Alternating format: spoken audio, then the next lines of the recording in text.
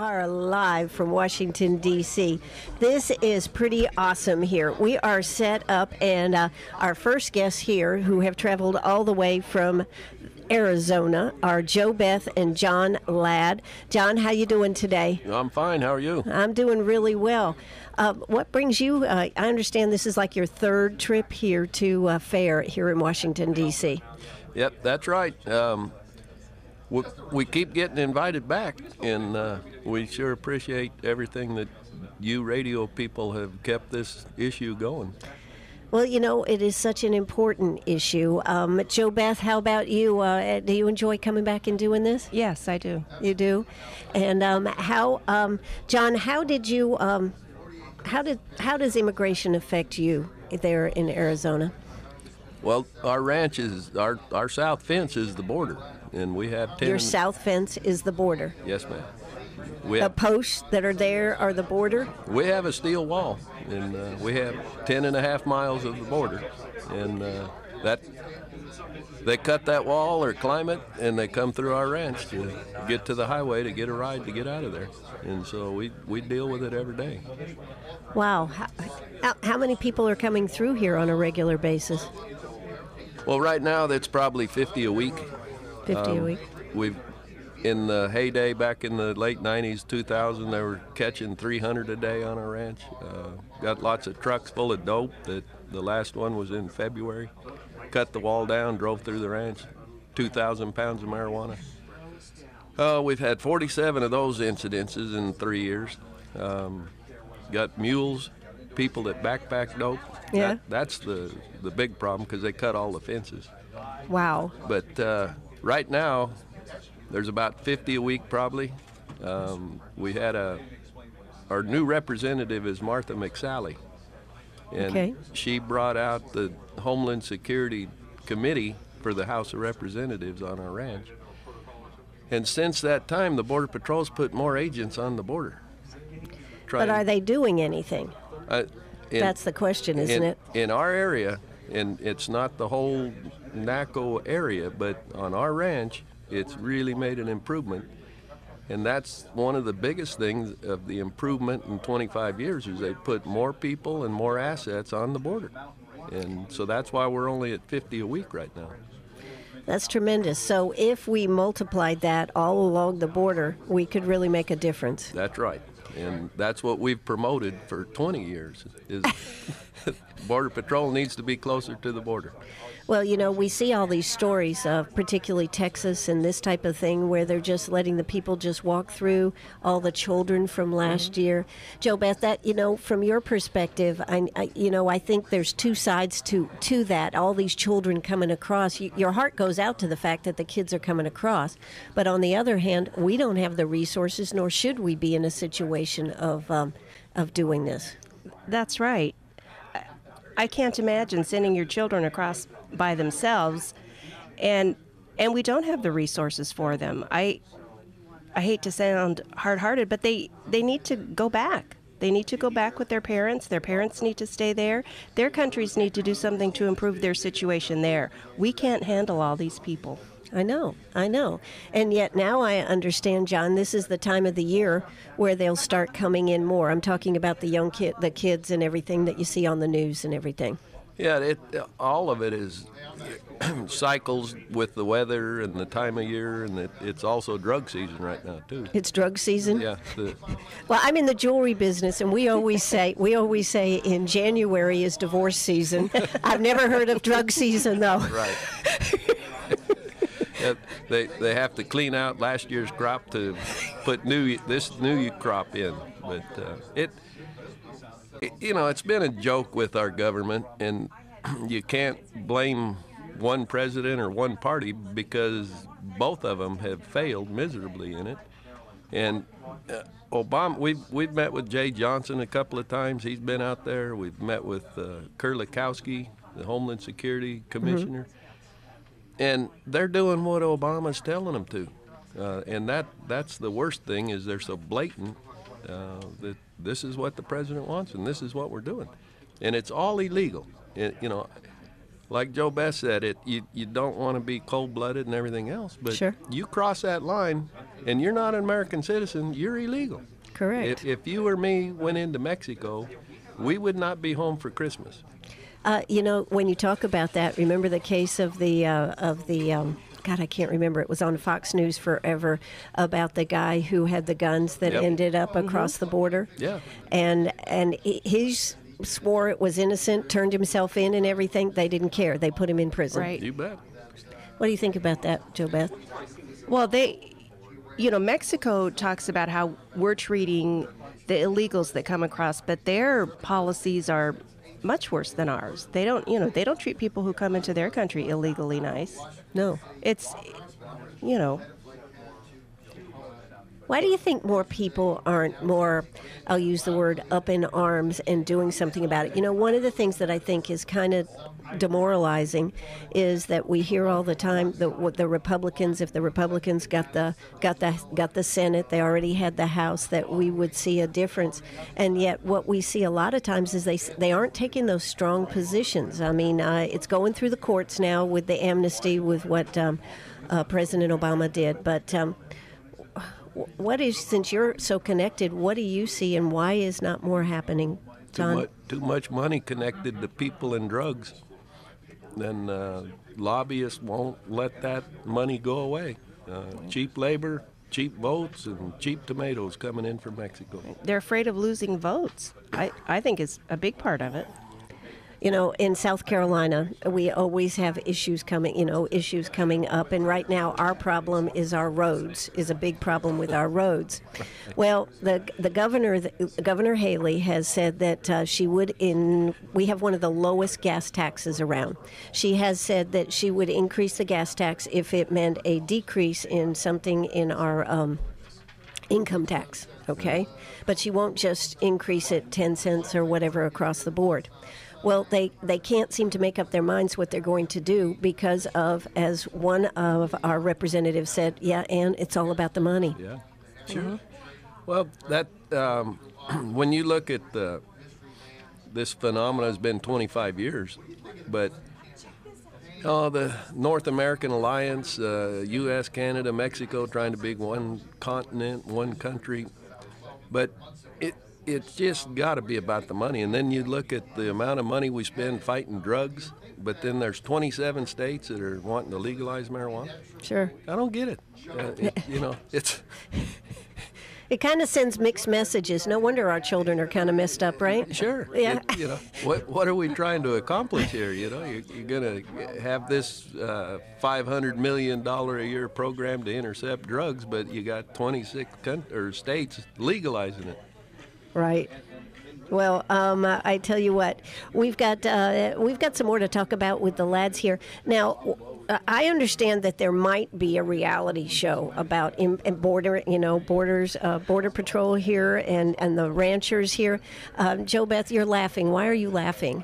Well, it's there might be it. It's I think it's called Border Cowboys, and they they need a sponsor for it. It's really more about the the ranchers than it's not about Border Patrol. It's about um, people who ranch on the border. Okay. Um, well, um, John, are you looking to be a star? Well, I already am. Yes, you are. You're on WCRS right here live from Washington, D.C., and we're bouncing it back to Greenwood, South Carolina. Who knew, right? Who That's knew? right. Yep. But um, seriously, why would you consider doing a show? Well, we, all of us, we there's a group of us ranchers that have been involved in this border issue for 20 years. We're all really good friends, and there's been this new increase in reality shows. So this group of people came out and talked to one of our friends and said, "Could you get your friends together and let's try this?" Sure. And I wasn't really that enthused about it, but then after. Okay, you can talk to us. I've got plenty of time. Okay. Yes, go ahead. Well, I, I just said I don't want a film crew with me all the time. I said it's going to be pretty boring. But then the reality of it is, is that it would expose what's going on on the border and how it affects our ranching practices, and and that's a big deal because it you can't keep cows where you want them. You can't do anything when you don't have fences. And so that's what I agreed. I said, well, I, if you look at it that way, in the big picture, it just isn't a reality show, but it'll show America what's really happening on our southern border. Sure. And so that's why, yeah, I agreed to it. Now, what um, what is it that you what is it you ranch? What do you raise? We raise beef cattle, Beef cattle. and uh, we've been down there 119 years. My family homesteaded in 1896, and you have to have fences to, if you want a breeding program. Sure. And, and we don't have any fences left, so we got a lot of bulls, and we round up the whole ranch at one time. Unbelievable. It it takes a long time, and it used to be uh, about a two-week process, and now it's about a two-month process to get everything rounded up. Wow. And that's all because of the fences being cut, the activity on the border. Um, So ha- ha- so so this has to affect your affect your bottom line. oh, absolutely. It, it's probably 25% on money, and 50% of my time is nothing but fixing fence. Wow. and that's perimeter fence. I, we've we've got nine pastures on the ranch, and I don't even mess with them. It's just a perimeter fence to keep the cows off the highway. Keep the cows off the highway. Yep. Wow. So what else can you tell us about uh, what is what are some of the important points to you? We've I, I've kind of been asking the questions. What would you like to? Uh, Well, we what America needs to understand is they they come through us every day and cut fences and steal whatever they can, but they live with you guys. When when they get in America, they're going to be your neighbor. sure. And if you want somebody that's illiterate and doesn't speak English and is going to be a drain on your economy, then keep your mouth shut. But if, if you really want to do something and, and you have any patriotism and what America's based on, then speak up. And, uh, you know, you wonder why you don't have any teachers' aide in your school anymore because you got a bunch of interpreters. Uh, what's that doing to your kids' education? You want to go to the hospital and it costs you three times more than it used to? Look at how many people are illegal that are getting free health care. Uh, that's what they need to understand. Well, and I think in South Carolina, uh, one of our issues is with the um, our farmers getting enough help in there to do this. One of the things that is demoralizing to me is the fact that you know it is hard work, but we have people that are unemployed in our own country. Why can't we come up with a solution that use, utilizes our own people? Well, um, Let me Uh, just say one thing. This is WCRS right here in Greenwood. We're talking. They've got a couple of minutes. We're going to continue talking.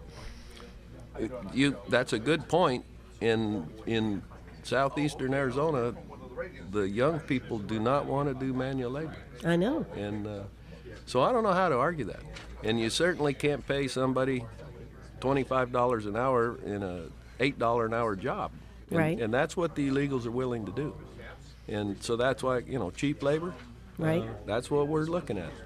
Um, I've got a So what do you do? What do you do? Do you have enough labor? Yeah, I got three kids. So See, that's where I messed up. I never had any children, Yeah. John, John. And you know, I'm in this radio business and jewelry business. It's tough. I got to hire everybody. Right, right. well, it, they're all grown now, but that that's part of uh, it, our deal. Is uh, we don't have to hire anybody. Wow. And, and uh, but that is an issue, and and I don't know how to fix that part of it. But you sure can't pay a whole bunch of money to go fix fence or be a cowboy or anything else. But there isn't anybody that down in our area that doesn't have illegals working for them, the contractors. And Well, they, see, they yeah. did the e-verify, they got fake social security numbers, and everybody's happy. And uh, but there is a problem with our generation that they don't want to work, Right. and they all want to be CEOs and run a computer. I know, and that that is one of the big issues. And until we uh, do something with that, Jo Beth, what do you think about as far as that? Yeah, I, I don't have a solution for that either. It, it's it, I know it's a problem. There there should be some kind of program where they can come across and work and help with the farm labor and then go back. But what You know, happens is they don't go back. they back. don't go back. I know. They don't go back. Yeah. And, you know, to be honest, a lot of them that are coming over now, they're not doing farm labor either. They're, you know, They're becoming CEOs. No, just joking. No. Well, a lot of the people that are coming over now, too, are, are not good people. You know, they're Sure. running drugs and that type of thing. They're Well, how about that story about the guy that uh, has been arrested? I don't know how many times and was in a car accident, killed somebody. Yeah. Yes, and and he, and there, you know, there's a lot of stories like that. Unfortunately, Yeah. You know, he's he's not the only one that's been arrested and released and And the other thing about the children, as far as children coming into the country, we are supposed to give them an education. Right. You know, that's one of the rights that uh, people that are in our country, whether it's illegal or not, right, John? I know that it, when all of those laws and opinions were made, that was the right thing to do. But when you talk about 30 million people being here illegally, it, it's overwhelming, and we can't afford that. No, we surely can't. Um, I don't know. I, do you need to go? No, we're fine. You're fine? Okay. I tell you what, we're going to hear a quick word from our sponsors, then we're going to come right back. If they've got a little more time, I've got a few more questions. All righty? We'll be right back. Hey, we are back on the air. I'm Anne Eller. I am here with Jo Beth and John Ladd. They are Arizona border ranchers. And I tell you what, how about that? Um, we were talking a little bit, Jo Beth, about education. You're a speech therapist over there Right. in Arizona. So, what are you seeing in the schools? Because, you know, one of the things that um, illegals have the right to is, and children have to go to school and get an education. So, what are you seeing there? Well, we have a lot of students who don't speak English, so they go in a program, um, ESI, English Structured Immersion, and they get instruction so many hours a day so they can learn English. And that's, you know, it's an extra cost. Yeah, it is an extra cost. Jo Beth, the, the thing that I was um, thinking about was the cost and how is that affecting education? And what would be, do you have any idea of the makeup of, the, of your population in your school? Well, it, it depends. Our school, our school district, it, there's a good percentage of um, Hispanics. I don't know how many don't speak English, um, but on the border towns like Naco and Bisbee and Douglas, they have quite high uh, Hispanic populations and a lot of kids who don't speak English. Some of them don't live in Arizona, they live in Mexico and cross the line to attend school every day. And they're not paying taxes, resident How taxes. come so they get to come across and go to, go to school there? How come?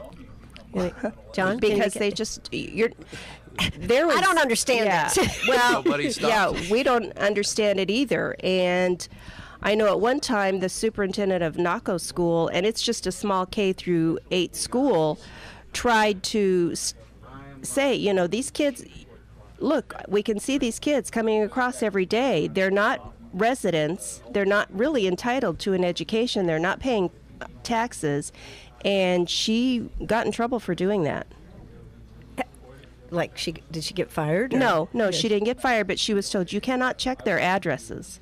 You cannot check your addresses. Well, you cannot verify that they, you know, they, of course, when I mean, they when enroll we have their employees, we have to Right. e-verify mm-hmm. employees, don't we? right.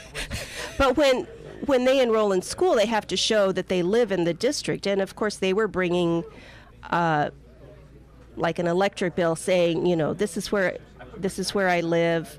This is a verification of my address, but yet she would watch them cross the border every day because it the wasn't school's really just their right there. electric bill. Right. It wasn't. You know, it was maybe their grandmas, their aunts, their uncles, their friends, whatever.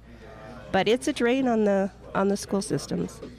Don, what do you feel about all this? Because this is one of the big issues to me. Is it's illegal, but also the education aspects. We've seen what's happening to our education system. Well, it, in our part of the world, it, it is really putting a drain on it. And I said earlier about uh, rather than having a teacher's aide, you got an interpreter. That uh, it it really puts a, a burden on the kids that e- even if you're illegal but you can speak English, uh, the, the kids that, that don't speak English have just run down the, the test scores. They don't care. Nobody down there wants to assimilate anymore. when I grew up down there, there were kids that didn't speak English, and about two weeks after school started, they did. Correct. And but now we we cater to them. We take them out and aside, and we don't want them to assimilate. But uh, there's too much humanitarianism involved in it, and I I just really am disgusted with the whole thing. I live it every day. This isn't America anymore. I said we're catering to Mexicans. We're catering to Mexico. We're letting them use us.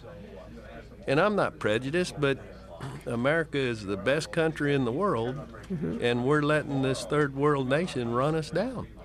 And nobody in our government wants to stand up and say this isn't right. But then McSally got elected, and, and she is. And Mike McCaul, McCaul out of Texas, mm-hmm.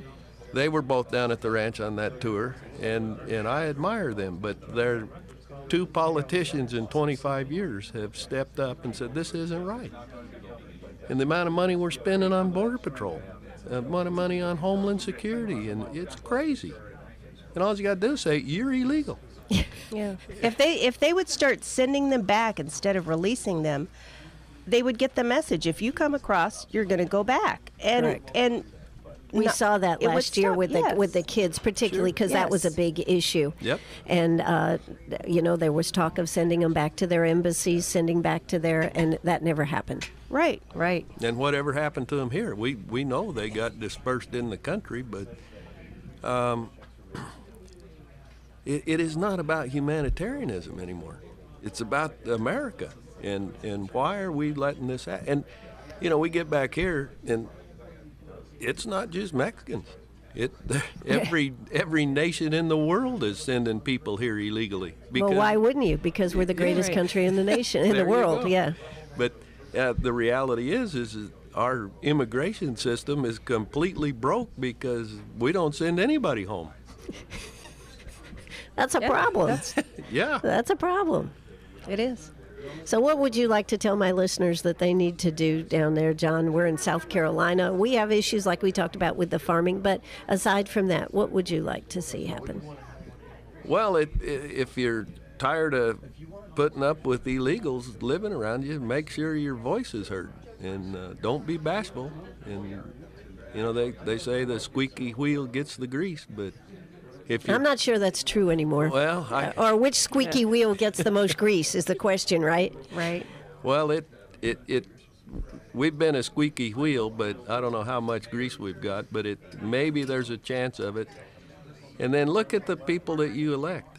Uh, and other than that, I, I have no other answer because uh, if we want to have a revolution over this deal, then let's do that. But if you can't depend on the people that you elect to public office, then there's a problem there too. Absolutely. Well, you know, I said when when, when they had the um, issue in um, mm, over the um, being able to serve, people can serve who they want to serve. Yeah. Look at the excitement that people got upset about that. About uh, if you're an open business, you need to be able to serve Yeah. all people. Yeah. You can't say no to somebody. Yep. People look at how excited people get about that. Yep. If if we got as excited about some of these other issues, would it make a difference in our country? I think so. I think Well, so too. I agree with you. Absolutely. Well, listen, I appreciate you taking the time to sit down and fill us in. I, I hope we see you on a reality show, Border Cowboys, coming to a TV station near you very soon. Um, you also um, were in Dennis Michael Lynch's uh, They Come to America, correct? Yes, ma'am. Yeah, I bet that was quite an experience. Well, I, it was. He, he's quite quite the individual, but uh, we we spent a lot of time when he filmed that, and uh, that if if somebody wants to look at that, that is pretty much. Is what that real? That's It is. what That- we that's deal real. With. Yep. They, they are good movies. They are. hmm They're good movies. All right. Well, thank you so much for taking the time f- with us. We really appreciate it. well, thank you. Thank you. All right. Y'all have a great day and have a good time, and maybe we'll catch up with you again. Okay? bet. Okay, Well, thanks. thanks. All righty. Bye bye.